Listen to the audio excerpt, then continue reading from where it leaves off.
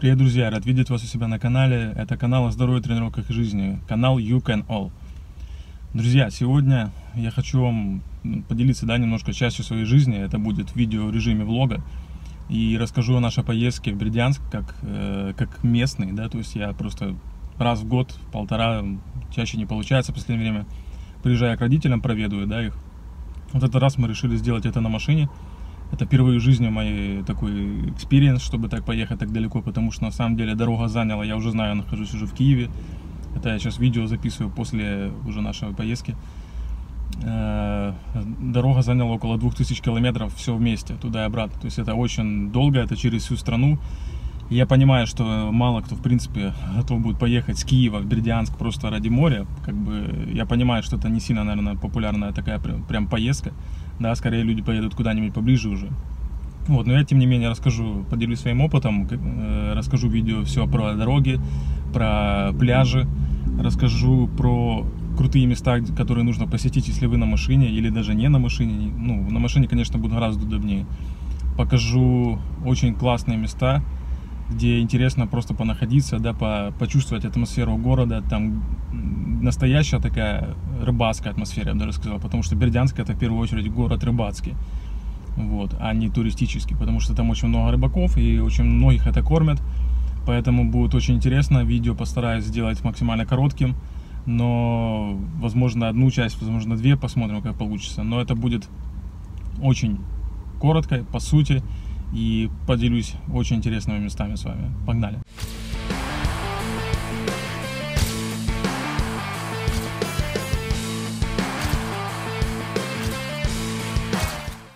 Итак, я решил отогнать машину на паркинг, и, конечно же, меня застал дождь, поэтому я решил записать финальную часть этого видео именно здесь, да, вообще, и рассказать о самом видео, записать отсюда. Э, смотрите, друзья, вот сзади у меня кресло, кстати, автомобильное. Это так выглядит, если снять с него сверху чехлы, да, мы взяли постирать. То есть, видите, там пенопласт. Э, не дешевите с креслом, берите хорошее кресло. Мы отдали предпочтение американской фирме.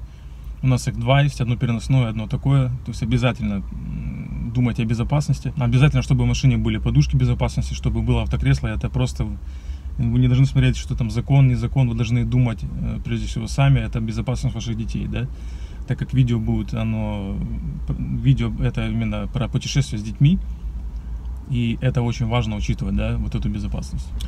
Итак, какие пляжи же нужно посетить в Бердянске? Смотрите, э, какая история. Я не люблю вообще купаться в заливе Бердянске, так как, э, посмотрите мое первое видео про Бердянск, я там рассказывал о том, что есть э, залив, да, и есть открытое море, которое я больше люблю. Там, где пляж Верховая, мой любимый пляж, там, где коса, э, куда многие люди ездят, да, но в заливе в этом году мы купались.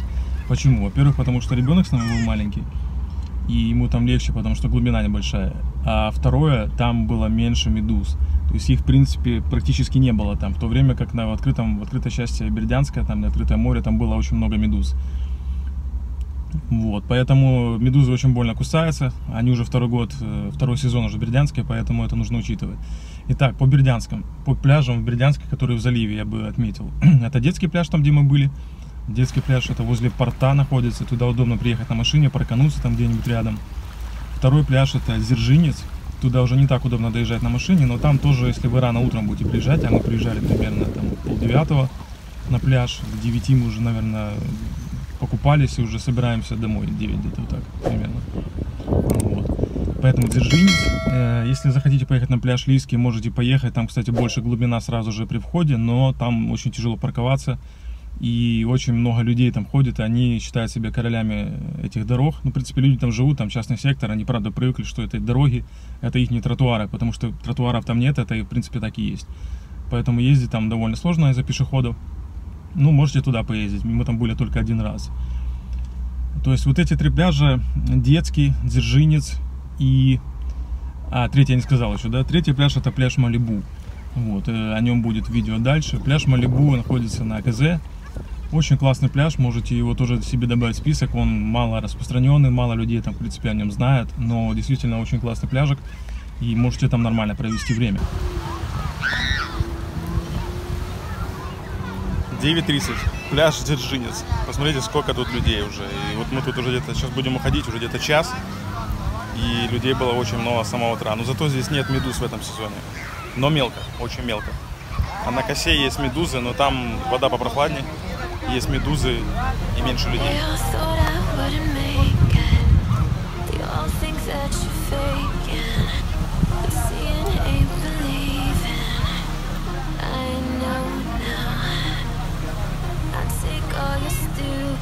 All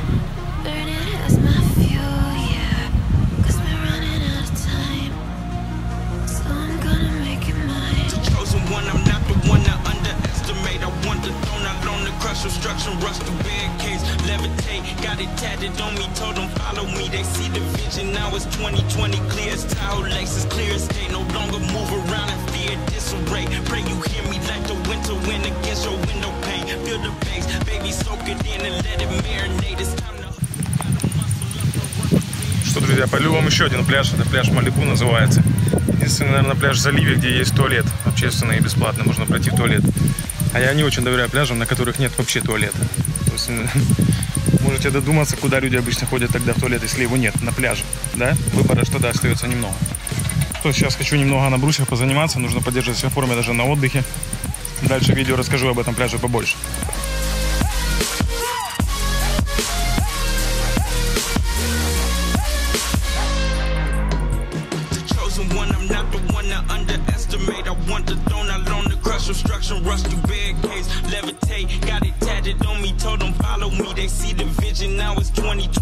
It's tall.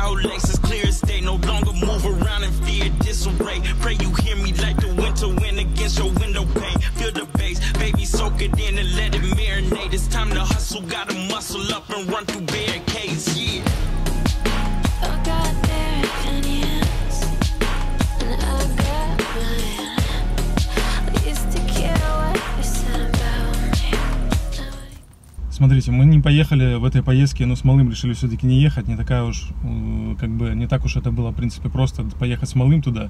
И я, я работал, и было не так уж много времени, чтобы этим заниматься. Но есть очень классные пляжи в районе села э, Новопетровка. Э, Это когда вы приезжаете в Старопетровку, там будет Новопетровка.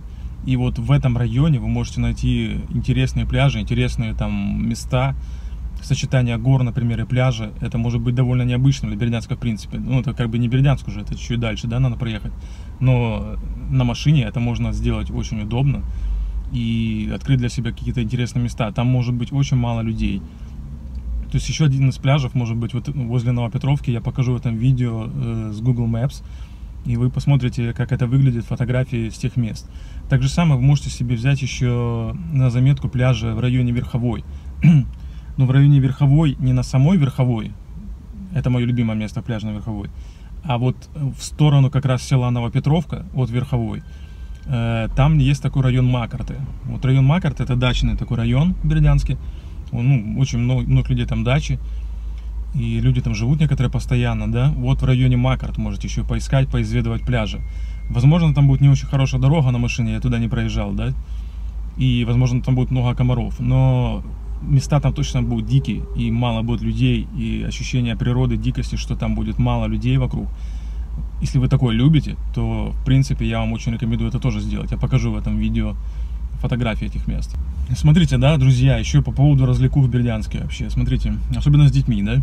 Вот, вот точно покатайте своих э, малявок на машинках, которые на пульте управления, да. Это стоит 50 гривен на данный момент, там 5 минут, да, вот вы с пульта управляете машинкой, но детям это так нравится. И если они, дети хорошо себя вели там на вашем отдыхе, то вы можете порадовать своих малявок таким образом. Э, Второе развлечение, и оно, наверное, должно было быть первым, очень хорошее, очень классное место, прям удивили, я хочу сказать, что так сделали в Бердянске, не ожидал. Э, В торговом центре Дельмар есть детский развлекательный центр, посмотрите на видео, какие там классные есть развлекухи. У меня малой там ну, не вылазил часа два или три, наверное. А на самом деле там можно хоть целый день находиться, довольно доступная цена, там несколько сотен гривен. И хоть целый день вы там можете находиться. Там все безопасно, все мягенько, все продумано для детей, чтобы они там получали удовольствие от жизни и вам там тоже будет э, хорошо понаходиться, да, допустим, если вы днем не знаете, чем заняться, да. Например, я когда работал дома, я программист, да, я работал дома на удаленке, все три недели что там находился. Не скажу, что кстати, сильно легко, на самом деле. Может, многим кажется, что это очень классно. Кому как. Мне тяжело так работать на удаленке, особенно когда рядом море, когда рядом семья находится. Хочется нормально отдохнуть, хочется поехать куда-то нормально отдохнуть, чтобы там, не знаю, о еде не думать, о готовке не думать, квартиру вот это не снимать, все. Но э, такой вариант тоже имеет место быть, потому что, в принципе, когда ты не можешь взять отпуск, да, то ты можешь просто на удаленке поработать и, в принципе, даже такое себе приключение замутить. И вот я, мне это, правда, заняло из трех недель два выходных в одну сторону мы ехали, два выходных в другую сторону мы ехали. То есть тяжело довольно физически ехать столько долго. И как бы ты не отдыхаешь, да. Но ты меняешь обстановку, и это приключение. Так вот, когда я работал, то моя жена, она ходила, допустим, днем с малым, что ну, когда я работал там спокойно. Вот, допустим, вот в этот торговый центр, где развлекались, вот в этом детском развлекательном центре. Очень классное место. Ну что, давайте я вам покажу наше жилье. Мы остановились на арендованной квартире, где-то, наверное, тут минут 5 идти до моря отсюда пешком. То есть, кто разбирается, это прямо возле колеса обозрения, очень близко. Вот. И квартирка мы искали буквально один вечер, нам очень помог риэлтор найти эту квартиру. Я сразу, я ни с кем не сотрудничаю, ни с какими риэлторами, просто хочу показать, вот какое реально жилье мы сняли. Скажем так, срочно съехали, нашли быстро жилье, стоит цену скажу в конце этого видео, как обычно делают. То есть это однокомнатная квартирка с балкончиком. Э, здесь, как для меня, по-моему, все очень комфортно. Мы, я ничего не готовил для этого видео, просто покажу, какие бывают квартиры. Если надо, оставлю под этим видео еще э, эту квартиру и номер этого риэлтора, который нам помогла ее найти. Может, вам тоже понадобится такая квартира. Смотрите, рядом с этой квартирой находится Приморская площадь, центральный универмаг. Здесь рядом отделение полиции. То есть это спокойный, нормальный район, можете спокойно здесь арендовать квартиру. Мы здесь вот с малым вообще, да. Э, Есть где, в принципе, поставить машину. Где-то рядом во дворах не проблема. Здесь вообще, в принципе, в городе нет проблем с паркингом. Вот, квартирка, смотрите, днем может быть жарковато, потому что солнечная сторона. Но здесь есть кондиционер, все нормально охлаждается, она маленькая, быстро охлаждается квартира. Ну, как бы, абсолютно нормальная квартира за свои деньги, я считаю. Дальше я покажу вам саму квартиру. Такая душевая кабинка. Раковина, можно вот бритву вставить, да, включить, где побриться. Небольшая полочка, душ подвесной. Полотенцесушитель. Вот так выглядит рабочее место программиста на удаленке. Такая небольшая кухня. Холодильничек, бойлер, стиралка, все есть. Телевизор. Сегодня придут подключать кабельная. Ванна.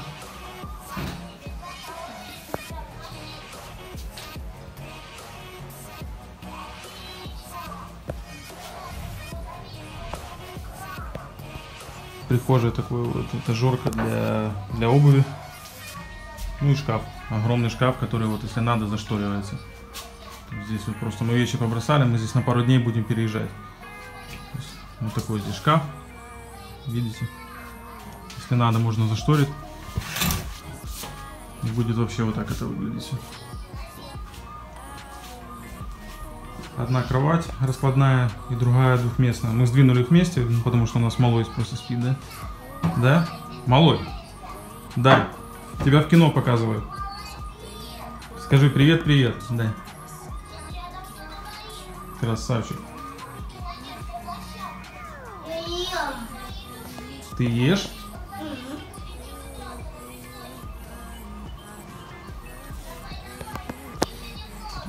И выход на балкон.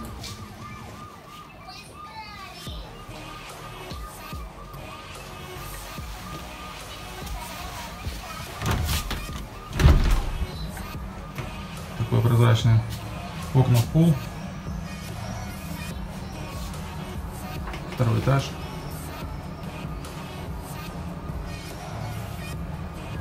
И окна выходят на садик. Ну, отлично, то есть в окна никто не будет заглядывать. Кроме сотни детей. Теперь, друзья, смотрите. Еще посетить обязательно вот по поводу еды, да, покушать что-нибудь. Я очень советую вам пиццерию Не- Немо. Это, кстати, тоже ориентировано на детей заведение. Друзья, очень классное место, потому что там, во-первых, делает коллектив, который там работает, делает это место. Они очень внимательны к детям.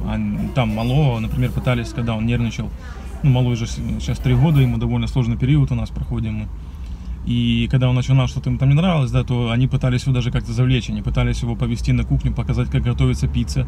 То есть какие-то такие интересные моменты и уделяли внимание ребенку, да. И, ну, по поводу еды, там очень вкусная пицца, она огромная, она классная, там с, лист- с листиками базилика, например, сверху они добавляют базилика, это очень классная приправа, она очень делает вкусный такой запах, приятный аромат.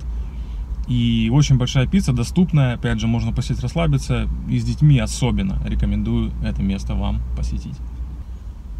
Смотрите, друзья, по поводу дороги, да, почему мы поехали через Полтаву вообще? Смотрите, через Полтаву сложно найти хорошую дорогу.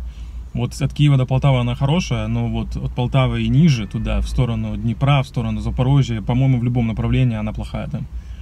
Вот. Но те куски, которые показали вам в видео, возможно, вас, конечно, вообще ужаснут, да, это отрезок был от Новомосковска до Запорожья, такой отрезок. Э, Почему Полтава? Потому что Полтаву хотелось давно посетить, это очень интересный городок. Я просто понимаю, что оно не сильно, наверное, вписывается в видео про Бердянский, еще про Полтаву вам показать, но я очень коротко покажу, не знаю, как на это YouTube отреагирует, потому что видео будет все-таки про Бердянск, а не про Полтаву, да. Но это, этот город тоже достоин вашего внимания, мне очень понравилась атмосфера в этом городе. Какая-то как, ощущение, как будто даже Западная Украина какое-то вот такое. А Мне очень нравится на Западной Украине.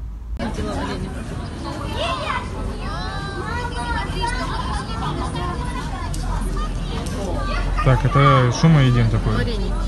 Вареники с картошкой с грибами, да?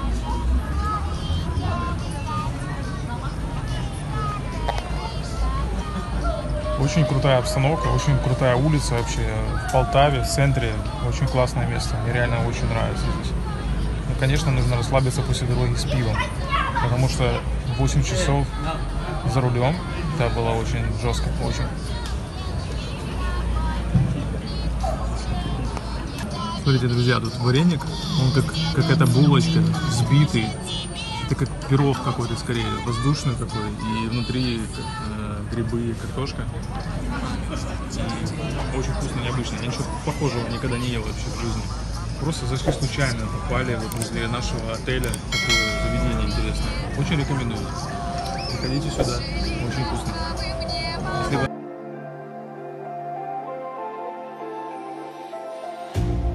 You hurt me, you did several times. It hurts to admit that we're no different. I find it hard to commit, but you don't even try. Still, I'm better with than without you. единственное место, где я могу выпрямиться в этом номере, потому что вот такой угол наклона. А, жена попала в кадр. В общем, остановились в Полтаве по пути в Киев, потому что нужно превращать путешествие в приключения, правильно? Вчера посидели вечером здесь в кафешке, поели. Поели, по-моему, галушек мы поели, да? Вареников поели. Но вообще там фирменное блюдо это галушки, я вставлю в это видео, покажу. Сейчас хотим пойти погулять по городу, посмотреть. Прям Мы прямо в самом центре находимся. Хостел называется Dream Hostel.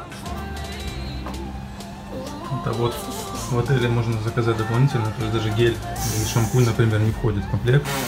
Но тем не менее стоит копейки, очень просто это все докупить. Здесь мыло такое вот. Все очень круто, прилично сделано. Душ кабина. Полотенцесушитель, электрический фен. Полотенце, конечно же. Немножко уставший порожек. Кондер вот там на полу. Очень шумная выход, конечно, здесь окон получился. Ну, полночи люди там орали под окнами, там, не знаю, что-то там кричали. В общем, мне показалось, что полночи я не спал. Но оказалось, что я нормально выспался. Здесь малой должен был спать, по идее. Здесь две такие кровати, одна большая. Здесь такой наклон, я нигде не могу выпрямиться. Но все равно очень круто, мне нравится. Дань, тебе нравится здесь? Да,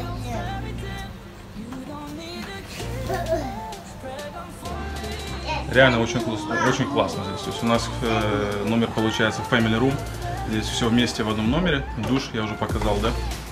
Но здесь есть хостел, обычные места, там, где душ будет э, в коридоре, да? Там есть э, постирушки, там есть кухня. Ну, все как в хостеле, в общем, очень, очень на высоком уровне, очень хорошие отзывы на букинге. Я не обзорщик отелей, поэтому не буду там сильно тут сюда точно смотреть. Примерно вы посмотрели, очень прикольный в центре, нормальная цена. В районе 800 гривен э, обошелся этот номер нам за сутки.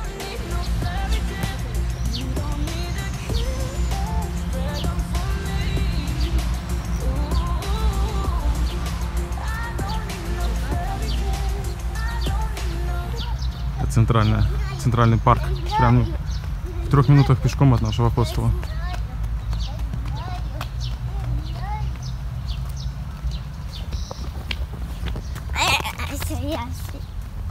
Что ты говоришь, да? Они, Это что значит? они.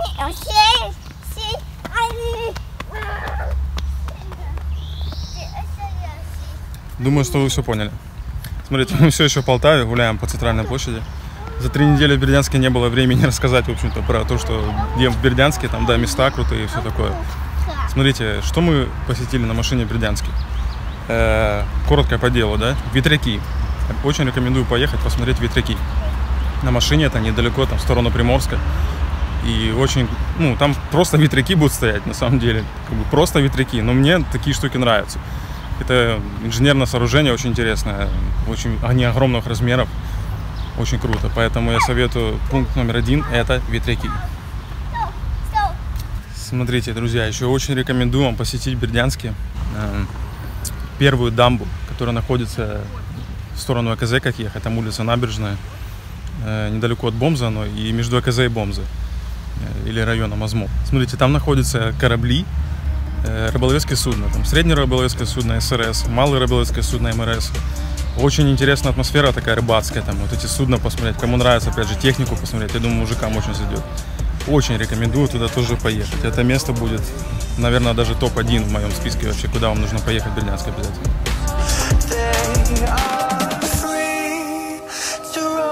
Above the sea, and their story stays with me like a haunting melody.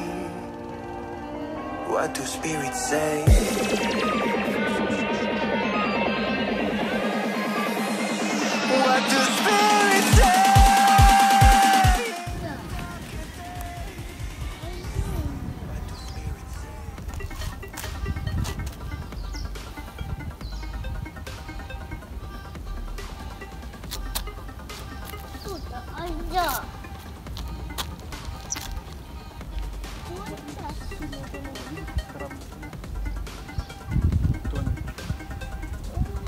Старый уже не рабочий.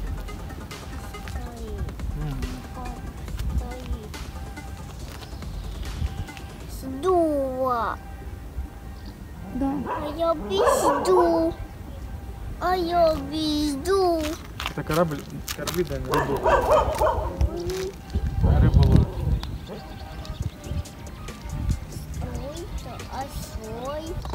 Сижу в парке в Полтаве, в центральном.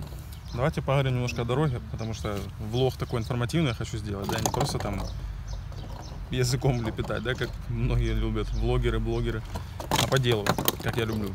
Смотрите, по дороге, вот в Полтаву, из Полтавы дорога все равно плохая, как бы вы там не ехали, вы попадете на плохие участки дороги, но это пока. Процентов 80 дороги, наверное, с Киева в Бердянск было все-таки реально очень хорошее, особенно Запорожье до Бердянска.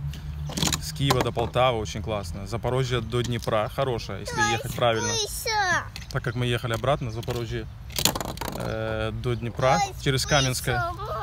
Э, А с Каменского мы поехали на Полтаву. Вот с Каменского на Полтаву был ужасный э, участок трассы, очень плохой, очень плохой. Но там было очень зато красиво, Днепр. Вот. А когда мы ехали с Киева Бердянск, то мы э, поехали с другой стороны. Мы поехали через Полтаву, тоже Киев, Полтава, потом э, в Новомосковск и с Новомосковска в Запорожье. И это большая ошибка была. Нас навигатор Waze так повел. Очень классный навигатор, но он сократил нам дорогу и повел по просто аварийной дороге. Мне еще говорили, туда не едь, я все равно поехал. Ставлю видео вам фотографии с того места, там я такого не видел, я не думал, что такое даже бывает. Там просто, ну, как после бомбежки какой-то. Я ехал там 30 километров в час до Запорожья. Вот такой участок был единственный, туда больше не суйтесь. Может поремонтировать, конечно, не знаю.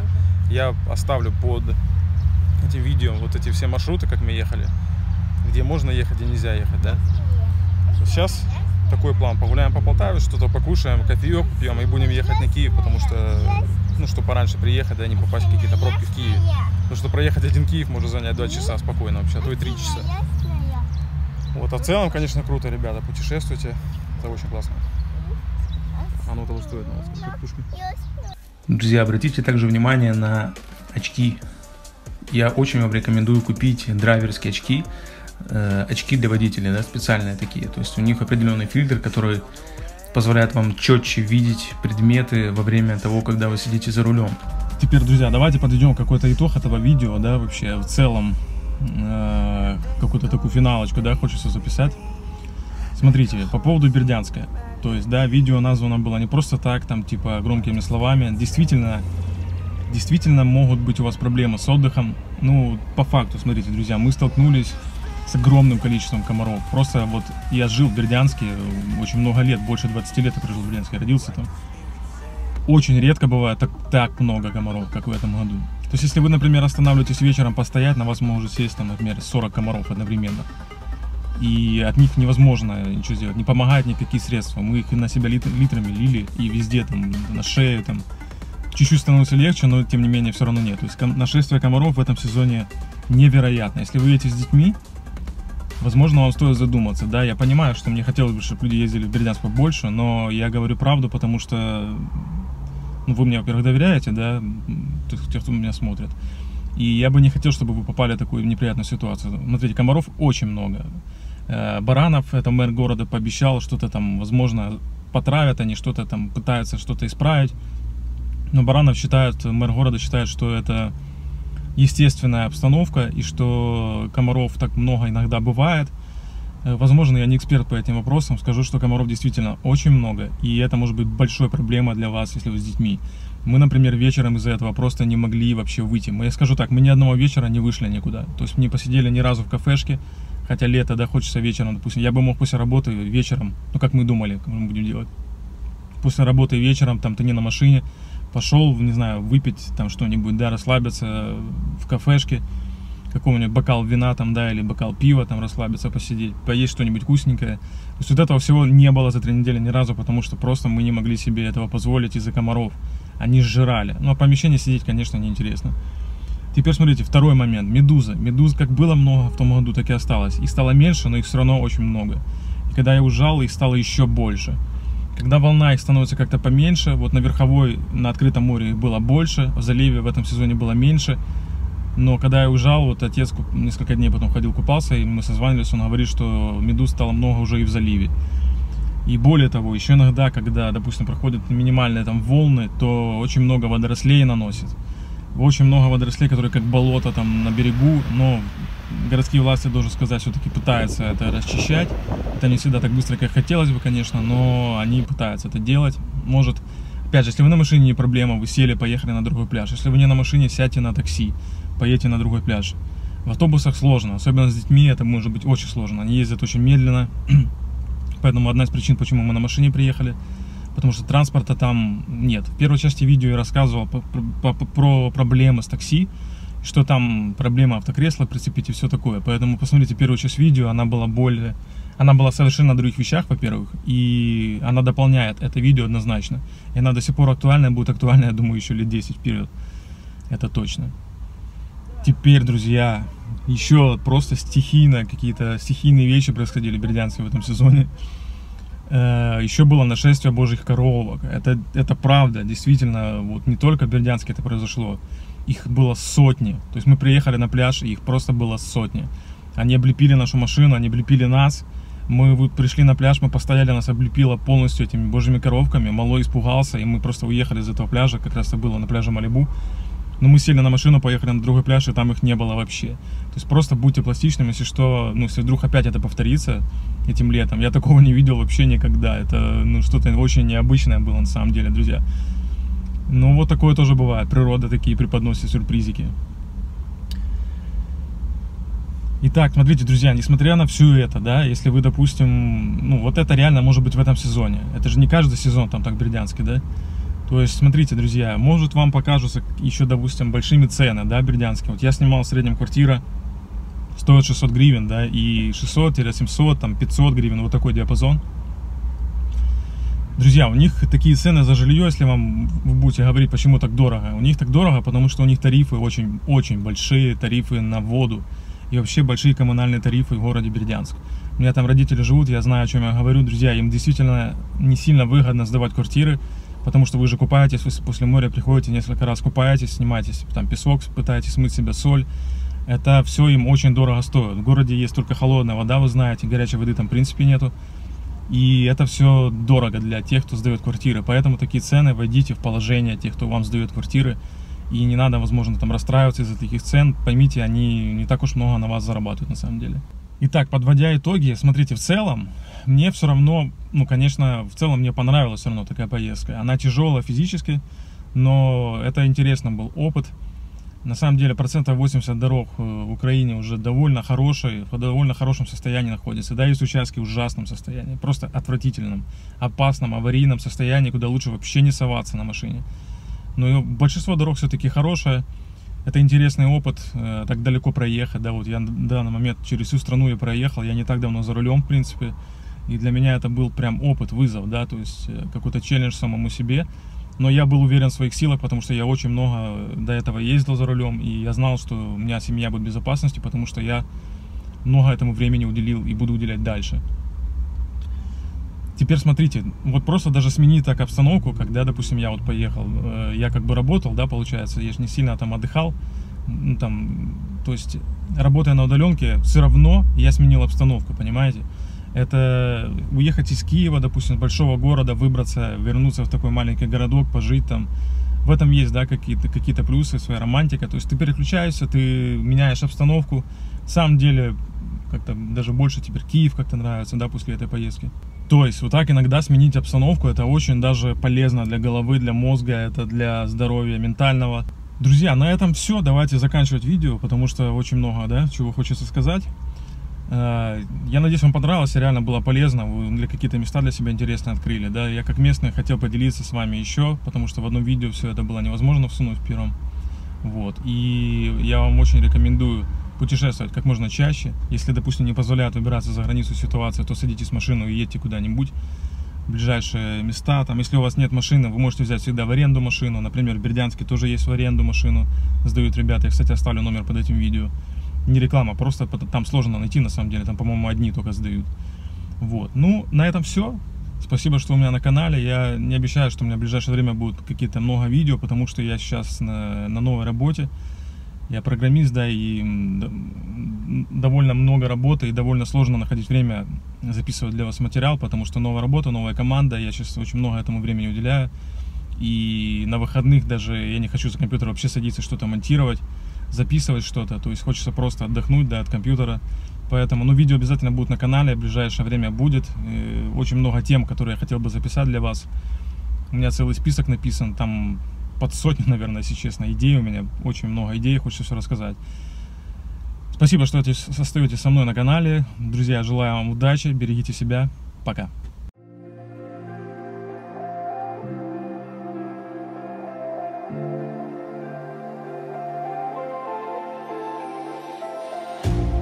You hurt me, you several times. It hurts to admit that we're no different. I find it hard to commit, but you don't even try. Still, I'm better with than without you. Oh.